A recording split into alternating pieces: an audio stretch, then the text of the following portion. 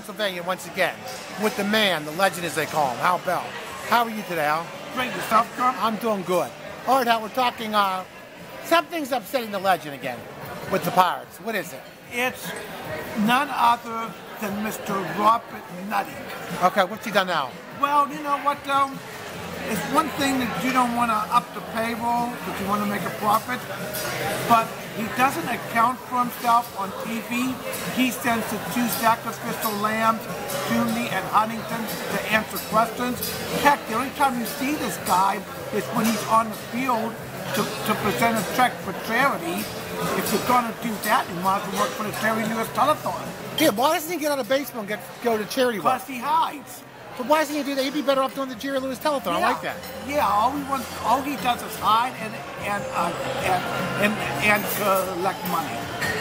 So the situation this year, as far as you're concerned, is hopeless, right? Yeah, yeah. I mean, it's nothing that's gonna uh, change. And they're not going to get back to where they were three years ago. We had a shot in Uh, those it's days. gonna Or, be a while. Yeah, I mean, it's gonna be a long while. how are season ticket sales this year, Hal? Down. Is that they haven't? They, but they have the Pirates haven't come out with a number.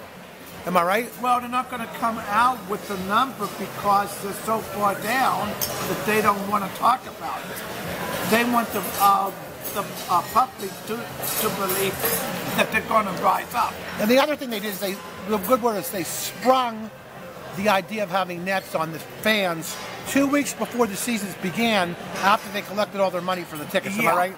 Is that is that the right word I want to use? Sprung. Sprung, yeah. Right. Sprung. It, it was like, oh, oh, by the way, we gonna put And, nuts. and they had to know that four months in advance because they had to do all the planning.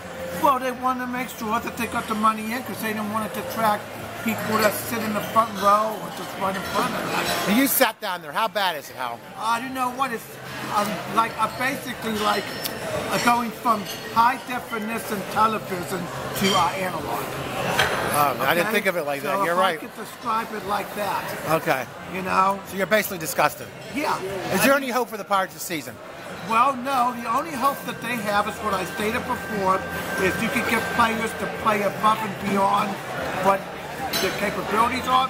But as I say, you have a lame duck manager, so the two are going to go hand in hand. Okay. I'm Hey- not speculating. Okay, as usual, we appreciate it. The man, the legend, the honesty, the candor.